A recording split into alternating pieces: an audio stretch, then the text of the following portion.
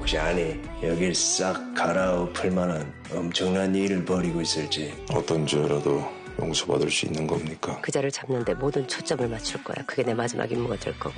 이제부터는 제 의지대로만 움직이겠습니다. 복직하셨다는 소식은 들었습니다. 사람을 한 명 만나 주십시오. 그 사람은 아빠일까요? 백모사일까요?